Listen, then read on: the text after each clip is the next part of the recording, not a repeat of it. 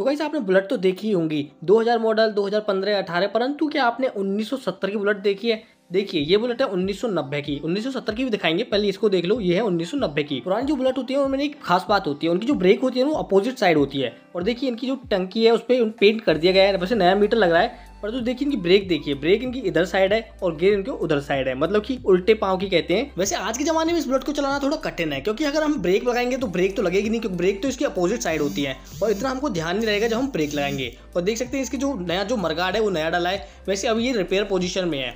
चलने वाली नहीं है, बिल्कुल खत्म है। अभी जो इसके पुर्जे उर्जे होते हैं, उनको निकाल के दूसरी बुलेटों में डाल देते हैं। बनने को तो अब भी बन सकती है बट इसकी जो टाइम लिमिट है वो खत्म हो चुकी है। अब आपको इस वाली साइड से दिखाते हैं, आप इस वाली साइड से देख सकते हो कैसी लग रही है। मतलब टायर साइलेंसर सब नए हैं बट गंदे हो गए हैं तो अब इनकी कोई वैल्यू नहीं है। अब हम आपको दिखाते हैं इसे गिर कैसे लगते हैं। देखो, इसमें छोटा, इसमें देखो, इधर ना थोड़ा तेल हो जाता है। बुलेट की खास बात है कि थोड़ा ऑयली ऑयली हो जाता है, इसकी सेफ्टी बहुत ज़्यादा रखनी पड़ती है। देखो, ये है गिर इसको पहला गिर ऊपर लगता है, बाकी सारे तीन तीन के नीचे लगते हैं। और जो छोटा वाला है ना, इसको एक साथ नीचे कर दोगे ना तो ये न्यूट्रल हो जाएगा। मतलब इससे ना प्रॉब्लम नहीं होती। ये जब गेयर लाएँगे तो ऊपर चला जाएगा और उसके बाद एक बार एडी से इसको नीचे करना होता है। और जो गेयर लगते हैं ना, इसके एडी से और पंजे से लगते हैं। और देखिए इसका भी जो साइलेंसर वो भी मतलब अपने प्रेजेंट टाइम का ही साइलेंसर है बट गवर्नमेंट ने बैन कर दिया है तो इसका कोई वैल्यू भी नहीं है अब। इसलिए इसमें जो मेन मेन सामान होता है, उसको निकाल के नई बुलेटों में डाल दिया जाता है। तो ये है 1990 की बुलेट अब हम आपको दिखाते हैं 1970 की बुलेट देखो, ये है 1970 की बुलेट क्लीनिंग हर चीज़ बेस्ट है, क्योंकि जो ये बुलेट है ना, इनके फादर ने इनको गिफ्ट दी थी। तो इन्होंने अपने फादर का एक्सपेंसिव गिफ्ट बिल्कुल संभाल के रखा है। इंजन नया इंजन नया है, इसका बिल्कुल क्लीन है रिम नहीं है इस बुलेट में सब कुछ नया डाल रखा है। क्यों? क्योंकि इन्होंने, इनके फादर ने इनको गिफ्ट की थी।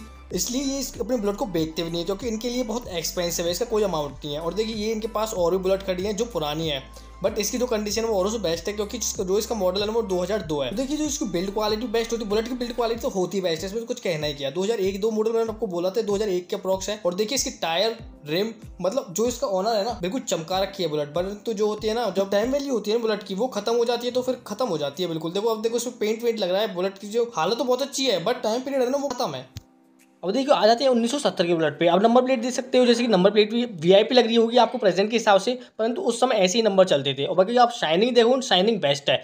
जैसे कि मैंने आपको बताया कि इनकी फादर की बुलेट है, ये इनके लिए बहुत एक्सपेंसिव है। तो इसको एक्सपेंसिव बना के रखते हैं। नंबर प्लेट देखिए डी एच एन आठ सौ पंद्रह। पहले जो नंबर प्लेट होती थी ना, वो ऐसी होती थी, आठ सौ पंद्रह, आठ सौ बीस, क्योंकि पहले इतने व्हीकल्स नहीं थे। अब तो बहुत सारे व्हीकल्स हो देखा जाए तो पर हाउस पर व्हीकल्स अब नॉर्मल बात है।